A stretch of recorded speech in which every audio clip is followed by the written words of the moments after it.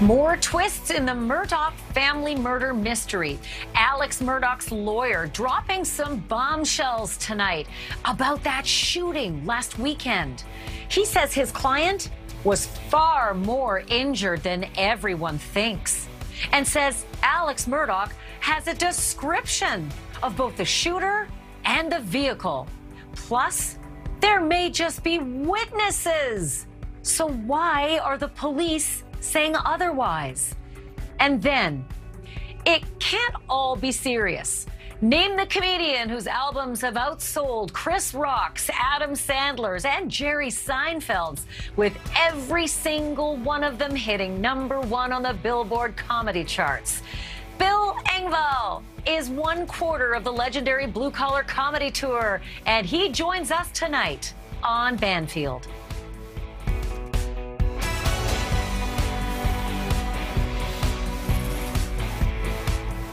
Welcome to Banfield. Every time we think there can't possibly be another twist in the Murdaugh family murder mystery, there is. And hold on to your hats. The twists we have to report tonight are huge. Alex Murdaugh's to set the record straight in this very complicated story. And there are major contradictions between what he is saying to various media outlets and to what law enforcement have said after Alex Murdaugh was airlifted to a hospital with a gunshot wound to the head last weekend. Let's run down the list of what Murdaugh's lawyer is saying, the extent of Murdaugh's injuries. Well, at the time, law enforcement called them superficial, even non existent. But now Murdaugh's lawyer says not so. He says there was an entry and exit wound, a skull fracture, and brain bleeding. Also, the details of the shooting itself. Murdaugh's lawyer had this to say about the shooter. The driver of this truck rolled his window down, came to a stop, and asked if Murdaugh had car trouble. Murdaugh said he didn't know if he could change the tire nor whether he had the equipment to do so. And then the lawyer says Murdaugh was shot. He says the driver was male and driving a blue pickup truck. So, why does the incident report that we just received from the sheriff have none of those details? Nothing like that. The suspects section is almost blank. No mention of a blue pickup truck. And under suspect's gender, it says unknown. And Murdaugh's lawyer says his client gave a description of the suspect to a South Carolina law enforcement uh, division sketch artist. That sketch, though, has not been released. The reason? Jim Griffin, Murdaugh's lawyer, says because SLED says it wasn't satisfied and that they need additional details from Murdaugh, but that Murdaugh plans to meet with them after he has finished detoxing in rehab. None of those details has been released by SLED. Why? Well, holy heck, according to Murdaugh's lawyer, there is one and potentially two witnesses that may be out there. Just let that sink in for a moment. Murdaugh's lawyer says a Good Samaritan actually picked up the bleeding Alex Murdaugh off the highway after discovering him shot in the head and then drove him towards the hospital, only to meet up with an oncoming ambulance and transfer the patient. He says Murdaugh actually called 911 from that Good Samaritan's car. The sheriff's report mentions that one of the officers spoke to Murdaugh on the highway before he was airlifted, but the report has zero mention of a Good Samaritan on the scene or any witnesses. To help find some clarity, if we can, in all of this, I'm joined by Andrew Davis, an investigative reporter for WSAV TV. He has covered this story extensively. Susan E. Williams is a criminal defense attorney and a former prosecutor who lives in the county where Alex Murdaugh's wife and son were brutally gunned down back in June. And Alfred Titus is a former NYPD homicide detective who is a professor in the Criminal Justice Department of John Jay University. Thanks to all three of you. So, Andrew, let me begin with you as a reporter who has been covering this story. To all of a sudden have to juggle the avalanche of all of these details that came from Alex Murdaugh's attorney himself, what do you make of this?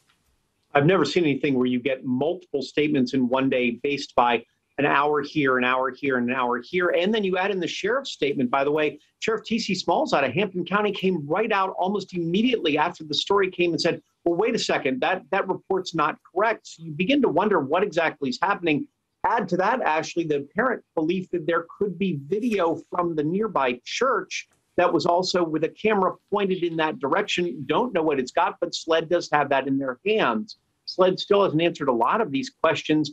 Now you're adding on this Good Samaritan situation and also a very detailed description of a suspect, which never came up in any of the previous interviews or issues that they were talking about as a lawyer. I'm very confused about why now this is coming out and suddenly how we have some detail about blue truck, about a suspect, and this Good Samaritan, which came out of absolutely nowhere.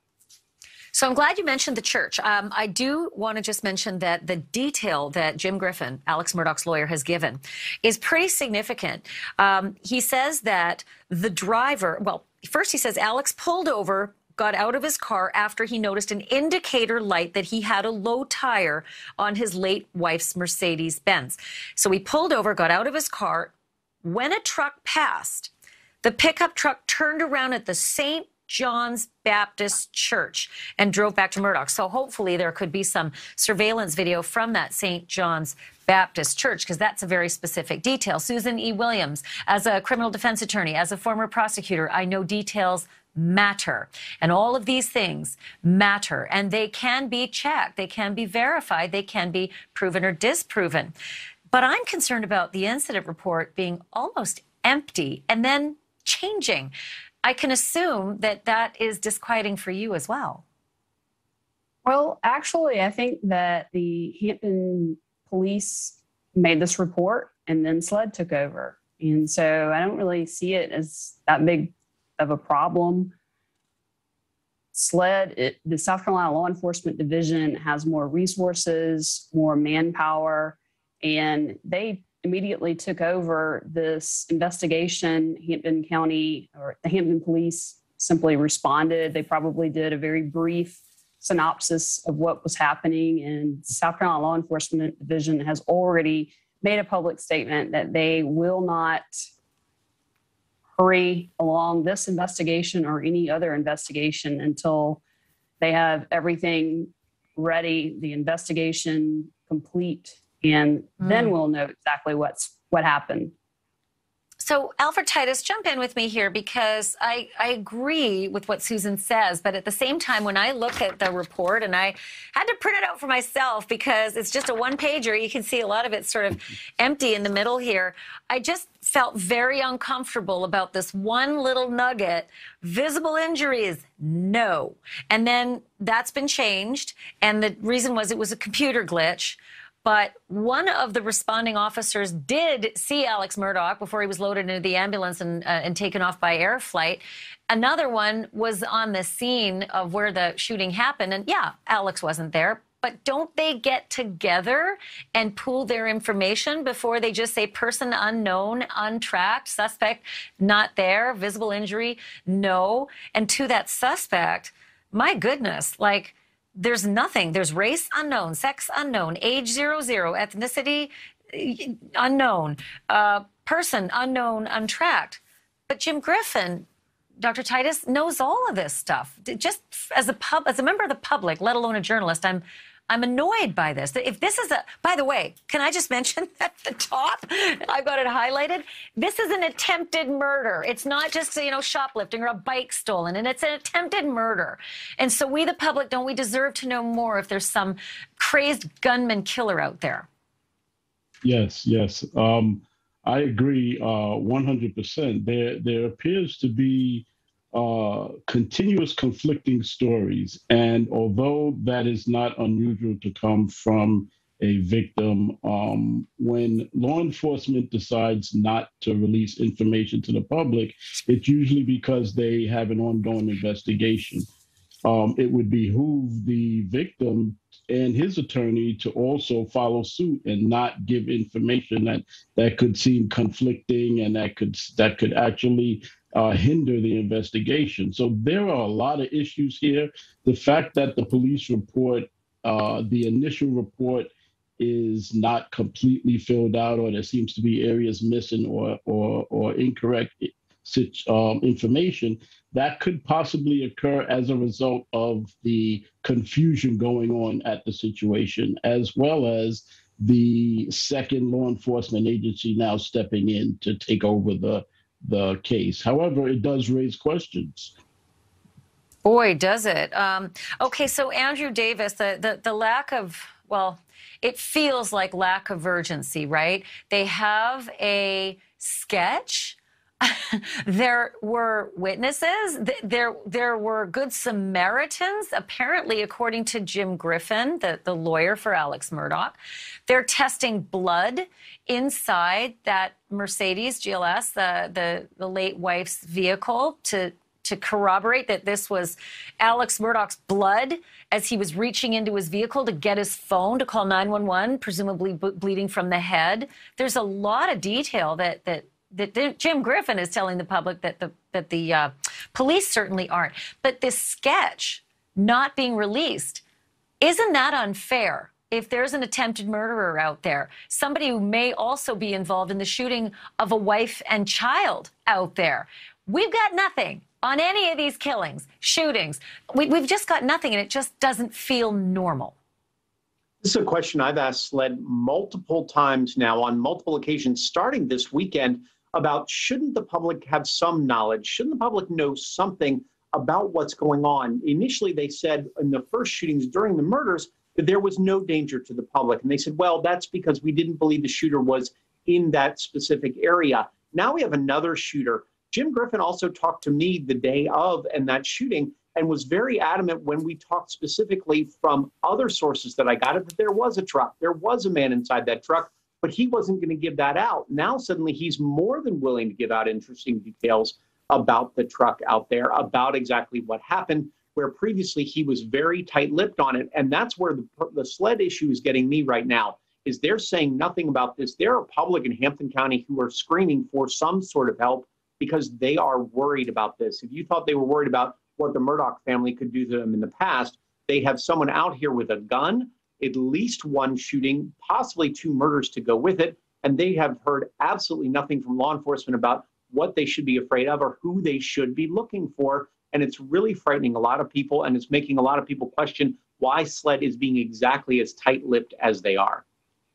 I mean, Susan Williams, this is, you know, your you know backyard. You you live in the county where his wife and son were brutally killed. And when I say brutally, a shotgun to um, young Paul Murdaugh's head and torso, um, a, a, a, rifle to, to his mother near the dog kennels, just left you know, on the ground. And this is not, um, like I said, it's not a stolen bike. It's not the kind of thing that doesn't matter it matters. And now an attempted murder on Alex Murdaugh.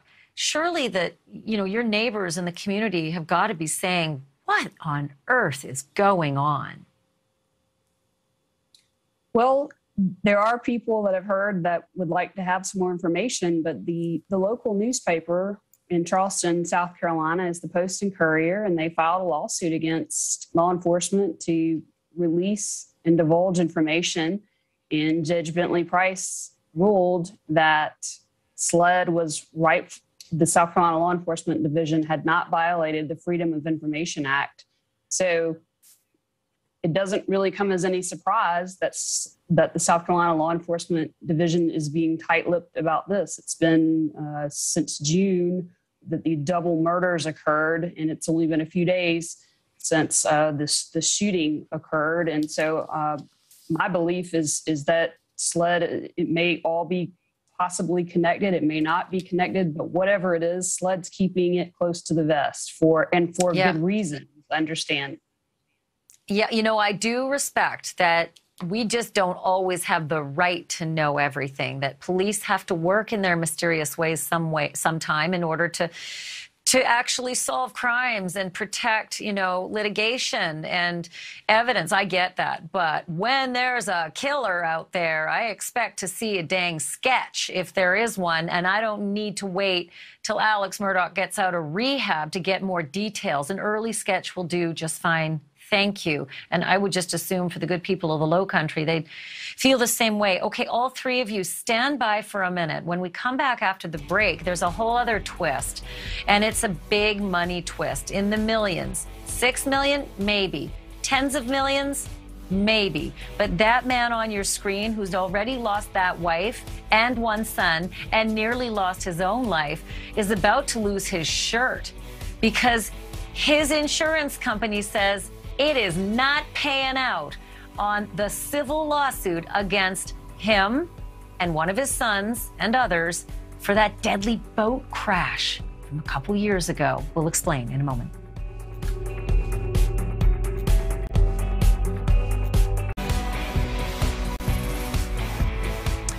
Welcome back to our special coverage of the shocking new twists in the Murdaugh family murder mystery. Today, the lawyer for South Carolina lawyer Alex Murdaugh contradicted almost everything that we've heard from law enforcement about the alleged attempt on Alex Murdaugh's life on Saturday. You probably heard that he was shot in the head. Well, Alex Murdaugh's lawyer, Jim Griffin, says that that gunshot wound, um, which he survived, was a heck of a lot more serious than the authorities said. He said it included an entry and an exit wound, a skull fracture, and significant brain bleeding. Griffin also says that Murdaugh saw the suspect's face and vehicle and gave the details for a sketch to the investigator, something that the police never reported.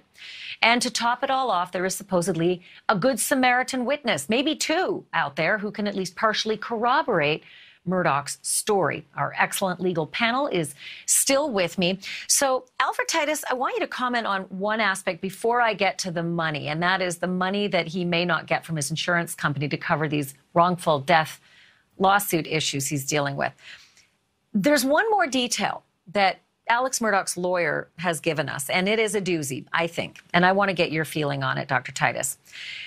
Jim Griffin said that he was in conversation with SLED law, uh, law enforcement officers and that they said there was no gun found on the side of the road where this shooting happened, alleged shooting happened, in Murdaugh's car, nor in the area.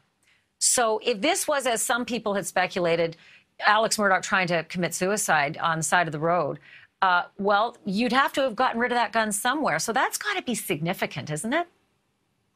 Yes, it definitely is. If if there is a belief that the individual uh, injured himself, then the weapon would have to be on the scene. However, there are many different ways that that weapon could have disappeared. Um, another car could have taken it away. Um, there are multiple uh, possibilities with that as well. Oh, now you're talking conspiracy, and you know that's the c word around these parts, Doctor Titus. okay, big. That's big. that's that's big. That's the that's the b word, big. Um, there's one other detail he said that that, that SLED told uh, him that well, SLED told um, you know family members at least that Jim Griffin is releasing that there was a puncture, a, sli- a slice wound in the uh, white sidewall of the Mercedes tire. So that was interesting as well, um, because we had heard that the tire, you know, was likely slashed and that there was a knife that was recovered. That was a, a report that came out. So, Susan, the money. I always say in these stories, follow the money. And I know as a prosecutor, uh, this will be interesting to you. Um, it's a federal case.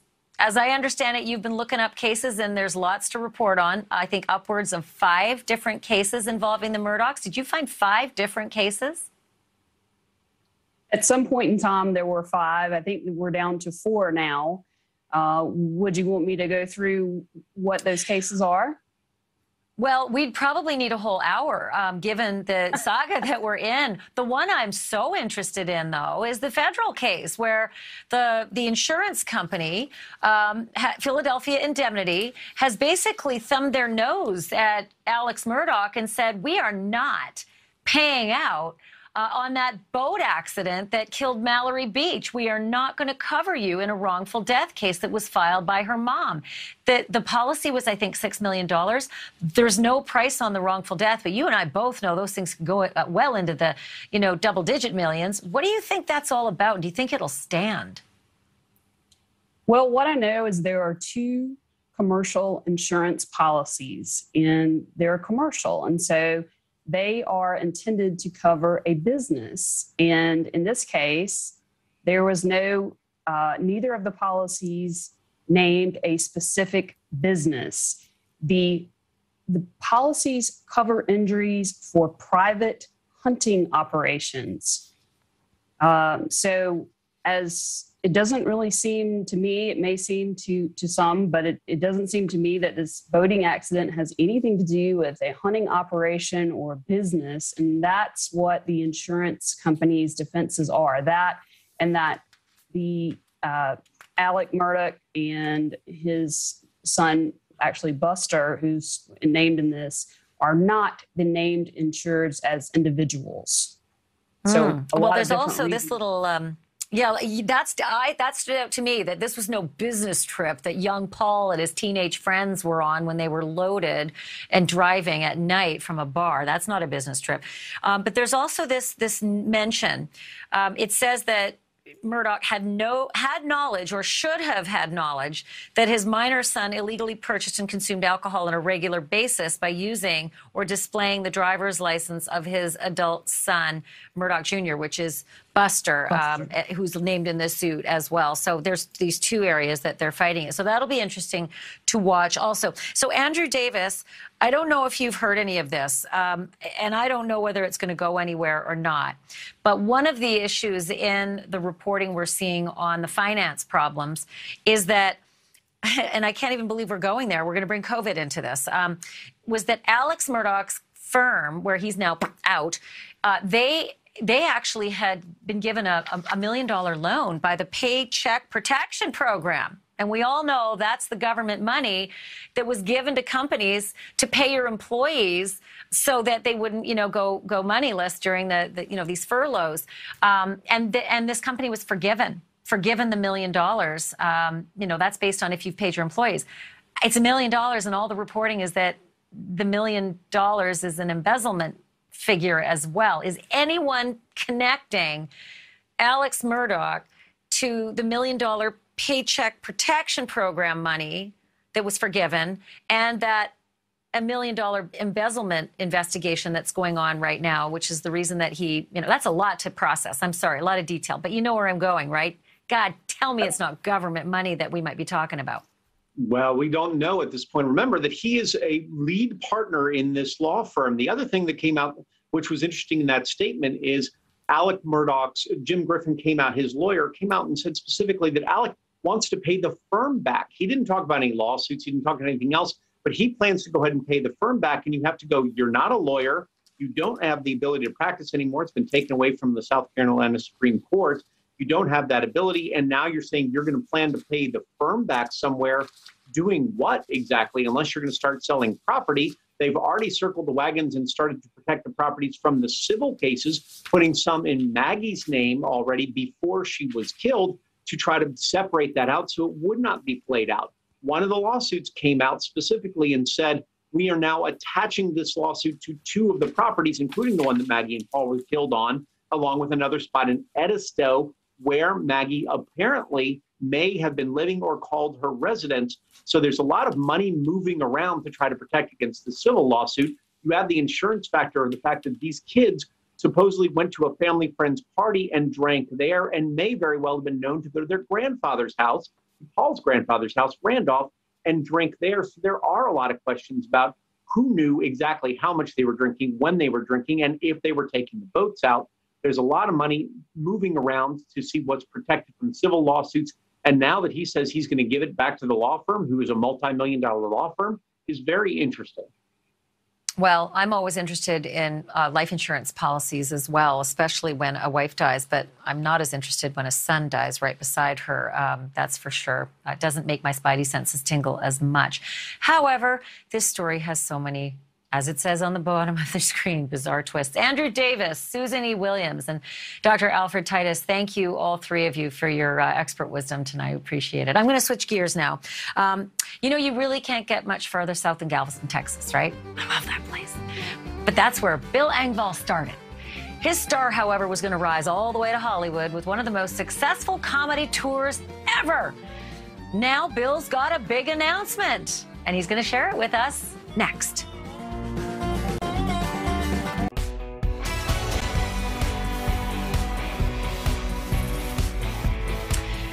Since I know that my next guest is a huge Dallas Cowboys fan, and who isn't.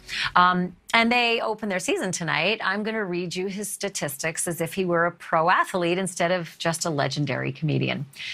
Six straight seasons with the Blue Collar Comedy Tour, whose movies sold over 9 million copies. His album, Here's Your Sign, held first place on the Billboard comedy charts for 15 straight weeks and went certified platinum. And believe it or not, the man has a Grammy nomination for the soundtrack to the Blue Collar Comedy Tour as well. And here's your sign of a great comedian. Welcome, Bill Engvall. It's nice to see you, Bill. How you doing? Well, I'm doing great. Uh, as I'm glad to hear you're a Cowboy fan. I'm really proud they're hanging in there tonight against the uh, the, the, greatest player of all time, Brady. But but uh, yeah. Th- hey, listen, I got to tell you something. I've got to do a lot of things in my career. Uh, this might be the capper. Getting interviewed by Ashley Banfield, who I have to admit uh, I have a, a bit of a crush on. Oh, come on now. You're you're drinking again. What's that about? Are no, you kidding me? For, oh, are you kidding? I go back to the glasses days. oh, pre-surgery. As I get older, I lose glasses, and everybody else on TV, all the ladies, they all get older and wear glasses. They got it backwards. yeah. And by the way, uh, the, the, thank you for the Grammy nomination announcement. But uh, having a Grammy nomination is just a polite way of saying you didn't win. So. oh, come on now. Hey, you, uh, Mister, uh, you have a big announcement to make. What is it? Uh, yeah, it's the uh, I am retiring from the road. Uh, I've been doing it now for 42 years, and uh, I'm a new grandfather, and it's time for me to start spending some time with my family. I've enjoyed every minute of the road. it's, it's. I would be lying to say I'm sure there'll be moments that I'll miss it but uh, I always said, Ashley, you know, when it's when the traveling starts taking over the fun of being on stage, it, it's time to, to hang it up because I don't ever want to cheat my fans.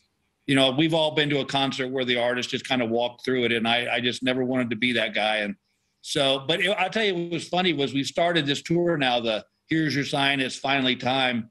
And the first show I, I did, uh, the ended the show, the people jumped to their feet and were clapping and cheering. And I thought in my head, oh, are you doing the right thing? And I went, yes, yes, yes, you are. You're doing the right thing. okay, Bill, I already sense this could be a Rolling Stones moment. Like you'll do this tour, no. and then you're just gonna you're just gonna come back because the, the flood of tears out here in your fan land, it's gonna force you back onto the stage.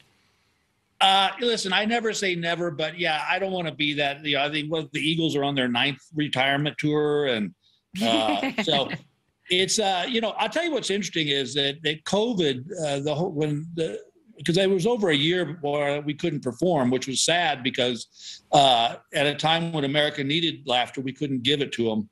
But I, I realized when I when the shows finally started coming back online that I, I wasn't missing the traveling. Uh, when I first started this thing, I'd be packed two or three days before I left for a trip. Now it's gotten where like an hour before I got to leave for an airport, I'm throwing stuff into a bag. So but uh, it's been it's been such a wonderful run on the road. Uh, I got to be honest with you, Ashley. If you'd told me this 41 years ago that I'd still be doing this, I'd, I'd have said you were smoking something.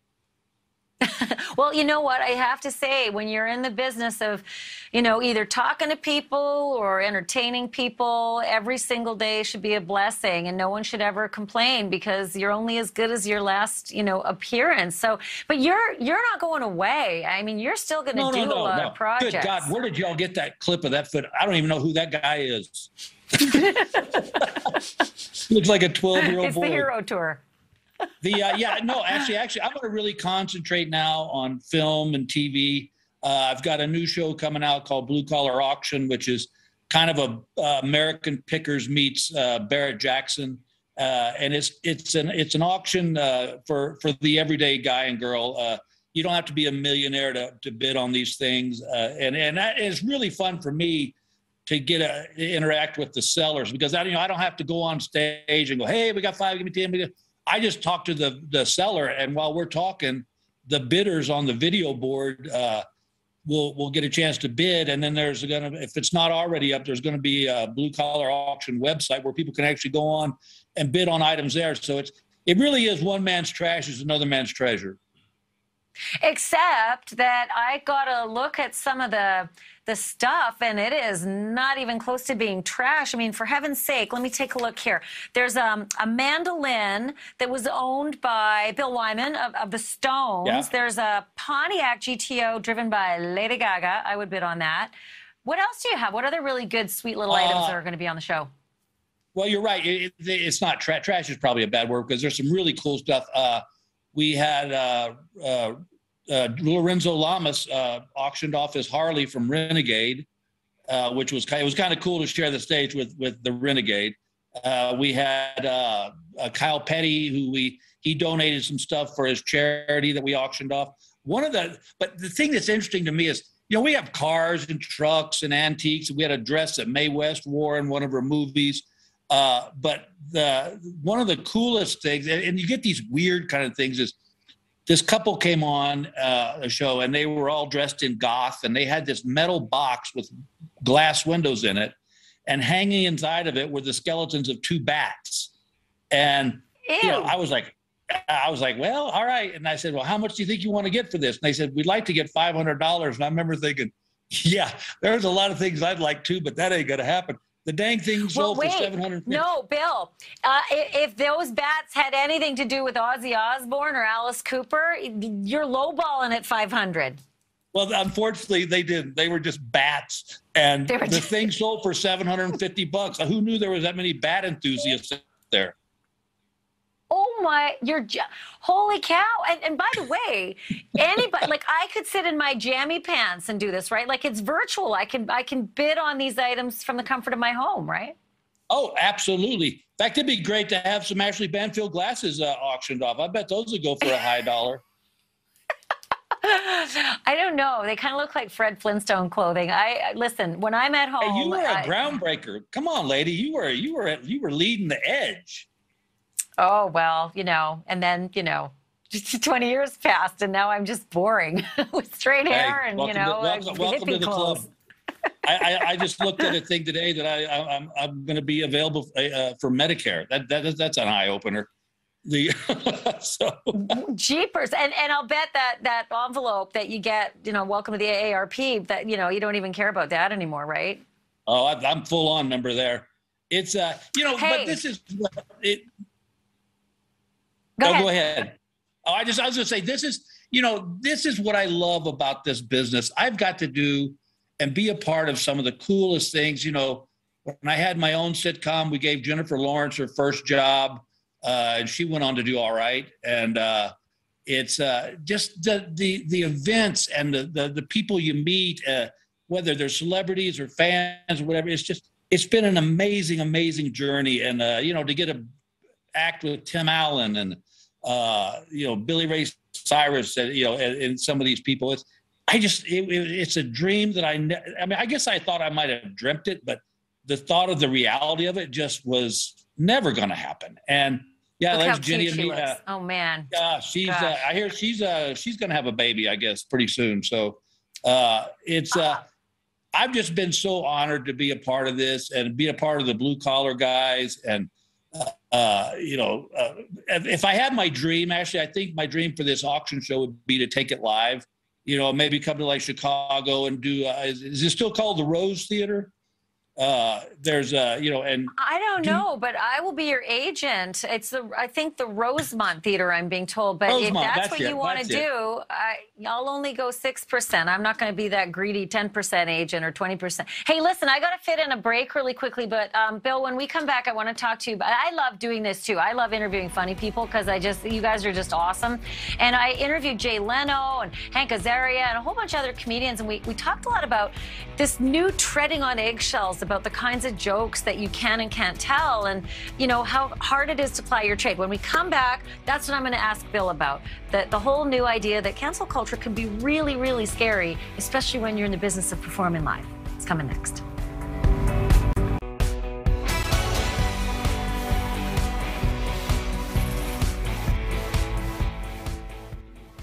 Grandmother would be walking through the house talking, and I'd egg it on.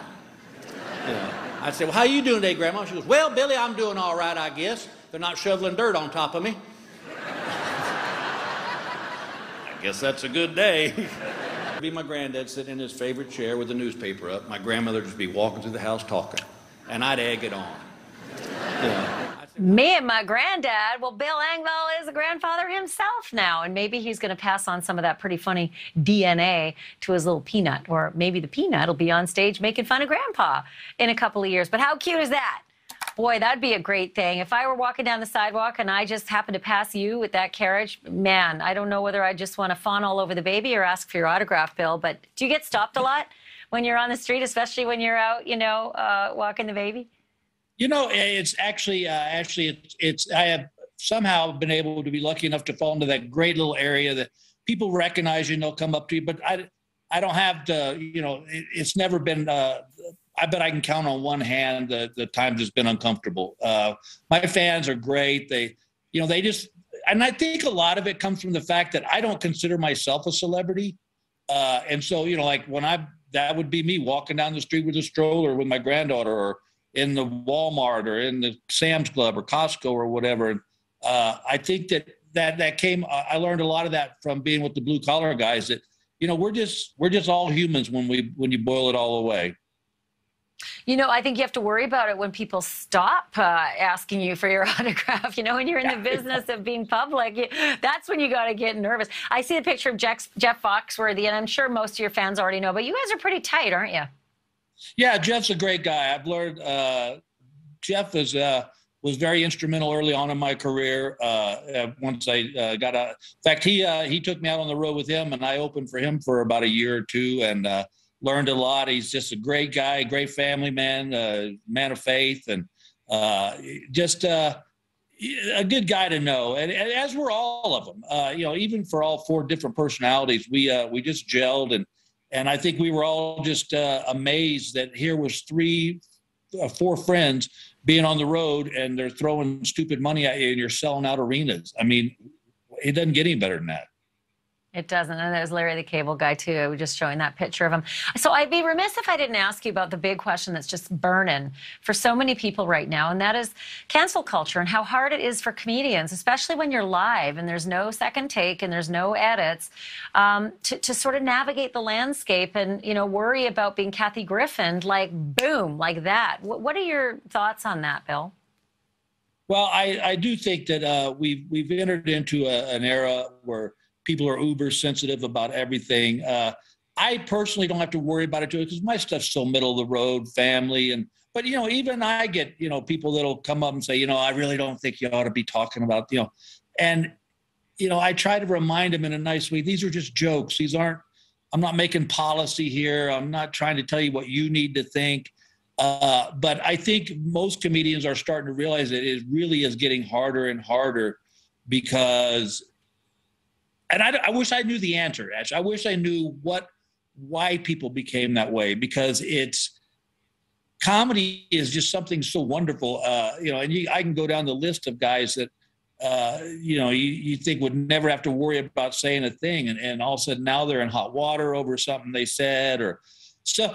It is. It, it's hard. I, you know, that's why in my shows I, I don't do any political stuff. Uh, mainly because I'm not smart enough to to keep up with it that as much as it goes, and and nor do I do religious stuff. You know, any but because like I could write the greatest political joke ever, but already I've alienated 50% of the audience, and why do I want to do that? You know, it's so.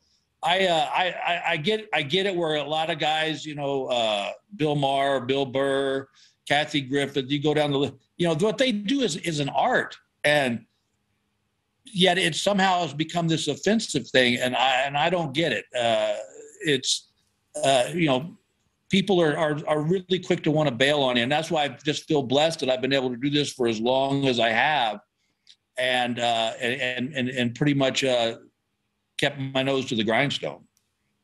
You know, Bill, um, I interviewed Jay Leno, and he said, uh, and he's even said it more recently than our interview. Um, you got to change your jokes. You got to change with the times, or you're going to die, and that's just the way it is. And then other people say, hold your horses there. Like Adam Carolla says, no, stop apologizing and and and back your guy. Like if you're ABC, back your guy.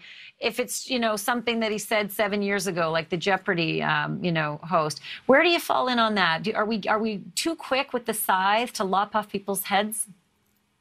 Oh, I definitely think so. Uh, listen, I'm not. I don't ever want. I ever advocate somebody doing something illegal or immoral. You know, in that sense.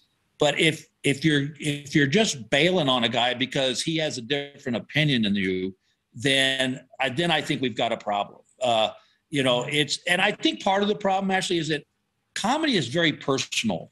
Uh, you know, if you go listen to a band and they play a song you don't like, you're not apt to just walk out because you're thinking, well, maybe they'll play some more that I like later on. But in comedy, people take it so personally that if they don't like a joke, they don't like you, they don't like the way you think, the way you That's lead your point. life, and yet they know nothing about you. You know, uh, the I do I do a little thing on Facebook on Sundays just called Sunday Mornings with Bill. And it's just a little inspirational 10 minute thing that, you know, just to something nice to give people to to start their week on. And, you know, I've had people say, why don't you quit trying to convert us and, and preaching to us? And I'm like, I'm not, I'm not doing them. My, and my I'm just answer trying is, to be funny. I'm Yeah. just trying to be funny on Sundays. my well, answer is if, this, if, you're watching a bad TV show, do you just sit there and watch it or do you change the channel? Get up and change the Right. channel. well, I would never do that when you're on. And you know what, Bill? It's been Yeah. really nice to talk to you. Thank you for doing this. Really appreciate it. I just want to give a plug too. Be sure to catch Blue Collar Auction on Circle TV. It premieres after this. Thank you, Bill. Ashley, I, I don't want to go fangirl on you, but this has been great. I've loved every second of this. Oh, mwah. see you soon, my friend. We're back right All after bye bye. Be safe.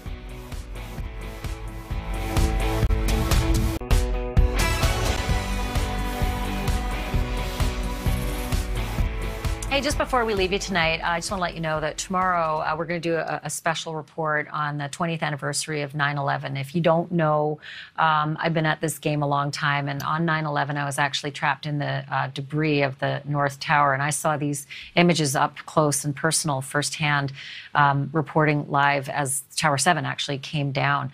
Um, and, you know, when we were planning the show for tomorrow night, I happened to find out a pretty interesting little moment that I wasn't the only person who was, you know, uh, traumatized by that day. The senior broadcast producer I work with right now, who's at the helm of this show, uh, he was also in the Pentagon and nearly died. And so I'm going to turn the mic on him in the control room tomorrow night. We're going to talk a little bit about what happened to me, and we're going to talk a lot about what happened to him, and we're going to honor um, all the differences uh, in our society in the last 20 years. So I really hope you'll join us. A special show tomorrow night. Thanks for being here tonight. See you tomorrow.